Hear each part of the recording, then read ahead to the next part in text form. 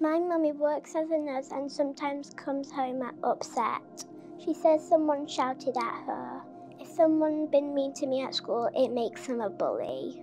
Sometimes mummy feels really down about the patients that have been talking to her. She and the patients say really rude things to her. It really hurts me that the way that patient, patients have been speaking to my mummy. Be kind to general practice.